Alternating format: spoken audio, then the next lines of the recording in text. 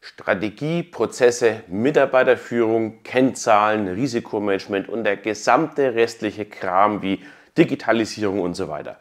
Da kann man schon mal den Überblick verlieren, wie das alles miteinander zusammenhängt.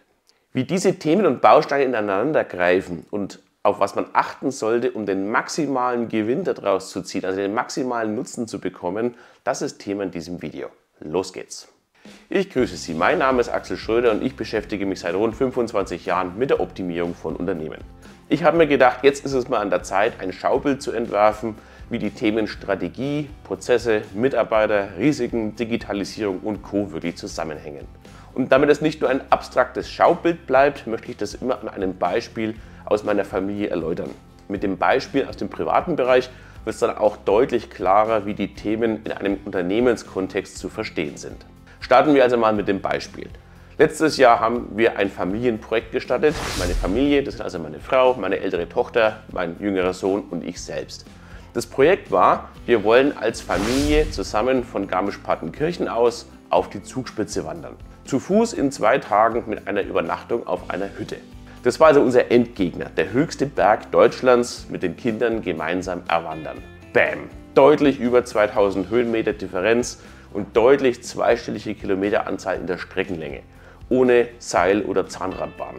Wenn wir das jetzt übertragen und damit starten wir jetzt mit dem Schaubild, fangen wir mal mit dem Thema Strategie an. Die Strategie klärt also letztendlich oder beantwortet die Frage, wo wollen wir hin und warum wollen wir eigentlich dorthin. Und das war in unserem Kontext eben, wir wollten es als Familienprojekt wirklich gemeinsam machen. Wir wollten diesen Punkt am Horizont schaffen, gemeinsam auf die Zugspitze zu wandern.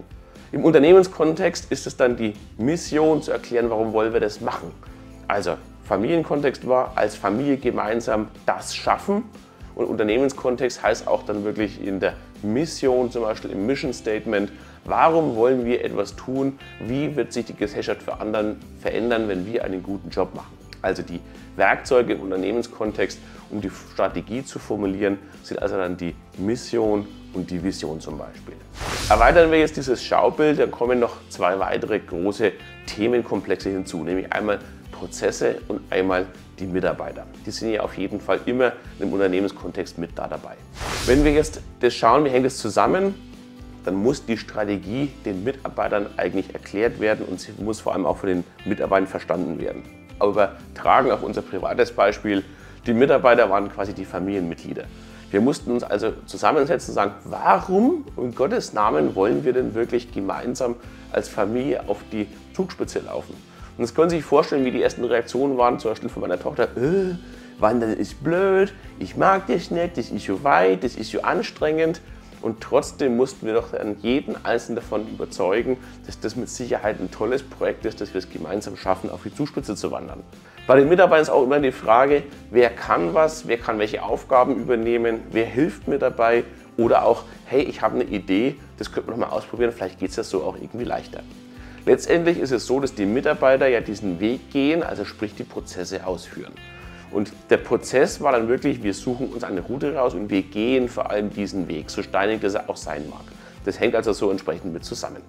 Die Prozesse und die Strategie, ganz klar, die Prozesse folgen der Strategie. Also wenn wir uns entscheiden, wir wollen auf die Zugspitze wandern, brauchen wir einen anderen Prozess, als wenn wir zum Beispiel entschieden hätten, wir wollen am Meer irgendeine Segelregatta gewinnen. Das sind andere Prozesse dahinter. Also welchen Weg gehen wir denn jetzt eigentlich als Unternehmen? Und diesen Jetzt, diesen Ist-Zustand zu verstehen, das ist das Thema Prozesse und Prozessmanagement. Also das ist hier der, der Kontext letztendlich, wie Strategie, Mitarbeiter und Prozesse entsprechend zusammenpassen. Ergänzen wir es um ein weiteres Themenfeld, dann sind wir jetzt bei dem Punkt Kennzahlen. Denn ohne Kennzahlen haben wir ja auch überhaupt keine Orientierung. Also gibt es eine Wechselwirkung zwischen den Kennzahlen und der Strategie. Übertragen auf unser Zugspitzbeispiel war es, gehen wir zum Beispiel schnell genug? Werden wir rechtzeitig vor der Abenddämmerung auf der Hütte sein? Oder sind wir vielleicht zu langsam, dass wir entsprechend was anpassen müssen? Gehen wir in die richtige Richtung? Das sind alles Kennzahlen und Messgrößen, die es entsprechend braucht, um sich zu orientieren, ob wir auf dem richtigen Weg sind. Und ohne Messung gibt es eben auch keine Steuerung und ohne Kennzahlen gibt es eben auch keine Steuerung. Wir können nicht nachjustieren. Also wenn wir festgestellt hätten, dass wir zu langsam gehen, müssten wir zum Beispiel bestimmte kleine Abstecher hier mal eine Quelle anschauen oder dort mal ein Baumdenkmal zu besuchen und ähnliche Sachen hätte man dann eben abkürzen müssen und, oder weglassen müssen, damit wir unser Ziel rechtzeitig eben vor Einbruch der Nacht auf der Hütte zu sein auch wirklich erreichen können. Also Prozesse brauchen auf jeden Fall Kennzahlen, die eben zeigen, ob wir auf dem richtigen Weg sind, ob unser jetziger Ist-Prozess wirklich das bringt und so leistungsfähig ist, wie er eben auch entsprechend sein soll. Sonst funktioniert es nicht wirklich gut, dass wir eben orientierungslos umherhören und möglicherweise unser Ziel eben nicht erreichen oder eben tatsächlich auch in gefährliche Situationen kommen. Ergänzen wir das weiter jetzt um ein weiteres Themenkomplex, dann sind wir bei dem Stichwort Optimierung. Also die Mitarbeiter optimieren letztendlich die Prozesse, denn die haben oft mal eine Idee, wir können das oder so machen. Gibt es vielleicht einen leichteren Weg als den steinigen Weg auf die Zugspitze? Gibt es da, welchen Weg gehen wir eigentlich genau? Wollen wir den Klettersteig gehen, der ist kürzer, aber dafür steil und anstrengender? Oder gehen wir eher einen längeren Weg, dafür ist er vielleicht weniger gefährlich? Also das sind so diese Optimierungsthemen, die darin sind und die Kennzahlen stoßen auch entsprechend Optimierung an. Wenn wir feststellen, dass die Kennzahlen zum Beispiel nicht dem Soll entsprechen, weil wir zum Beispiel zu langsam gehen, dann müssen wir uns überlegen, wie könnten wir denn schneller gehen. Kann man zum Beispiel die Gehgeschwindigkeit erhöhen, indem man äh, mit, mit so Walking-Stecken zum Beispiel läuft. Damit kann man deutlich leichter und aufrechter gehen.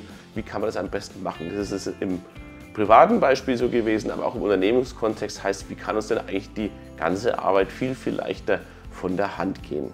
Ergänzen wir es weiter nochmal um das große Thema Digitalisierung die Digitalisierung ist oft ein, ich sage mal, Brandbeschleuniger.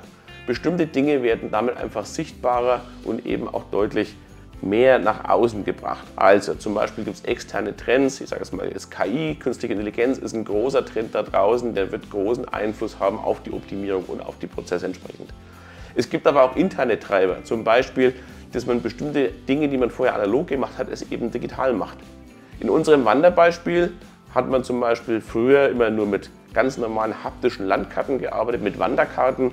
Heutzutage gibt es GPS-Tracker, dass man eben zum Beispiel sieht auf seinem Telefon, äh, sind wir dann noch auf dem richtigen Weg, hätten wir irgendwo anders abbiegen müssen oder ähnliches. Das ist nichts anderes wie eine Digitalisierung von den früheren klassischen Wanderkarten. Der letzte Punkt, der noch hier mit reinspielt, ist das Thema Risiken und Risikomanagement. Denn die Strategie beeinflusst direkt die Risiken. Also was kann denn passieren, was kann denn schiefgehen?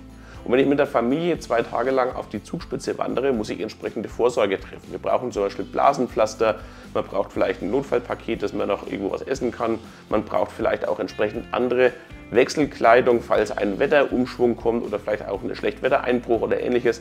Für solche Dinge muss man eben entsprechend vorsorgen. Und dieses Risikomanagement stößt seinerzeit aber auch wieder die Optimierung entsprechend mit an. Denken Sie zum Beispiel daran an die drei generischen Prozessrisiken, die ich bereits in einem Video mit vorgestellt habe.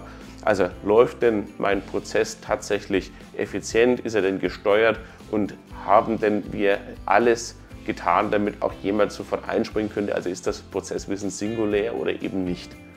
Dieses Risikomanagement beeinflusst direkte Optimierung und die Optimierung wirkt dann eben wieder auf die entsprechenden Prozesse. Weil diese Themen so eng miteinander in Verbindung stehen, habe ich hier auf meinem Kanal entsprechende Videos und Playlisten gemacht. Also zu diesen Kernthemen finden Sie überall vertiefende Punkte äh, zu den einzelnen Aspekten eben ein und da habe ich auch ganz, ganz viele weitere Beispiele. Wir haben übrigens unseren Endgegner wirklich bezwungen. Wir waren als Familie auf der Zugspitze und es war ein unfassbar großartiges Gipfelerlebnis, zusammen am Gipfelkreuz zu stehen. Und davon sprechen meine Kinder noch heute. Wir haben es also wirklich gemeinsam geschafft. Und jetzt denken Sie mal an Ihr Unternehmen. Wäre es nicht irgendwie ziemlich cool, die Durchbruchsziele zu erreichen und Ihre Vision, Ihre unternehmerischen Version ein ganzes Stück näher zu kommen? Und genau dafür, um das zu schaffen, brauchen Sie eben diese großen Bausteine und diese großen Themen. Lassen Sie uns darüber sprechen. Sie finden mein Kontaktformular in der Videobeschreibung und damit können Sie relativ einfach auch mal individuelle Fragen stellen. Wie fanden Sie jetzt dieses Schaubild? Sind die Zusammenhänge von diesen großen Themenkomplexen damit vielleicht etwas verständlicher geworden. Schreiben Sie mir gerne Ihre Meinung dazu in die Kommentare. Ich freue mich immer auf eine spannende Diskussion und vielleicht gibt es ja auch Anregungen oder Fragen für weitere Videos. In diesem Sinne sehen wir uns im nächsten Video. Herzlichst, Ihr Axel Schröder.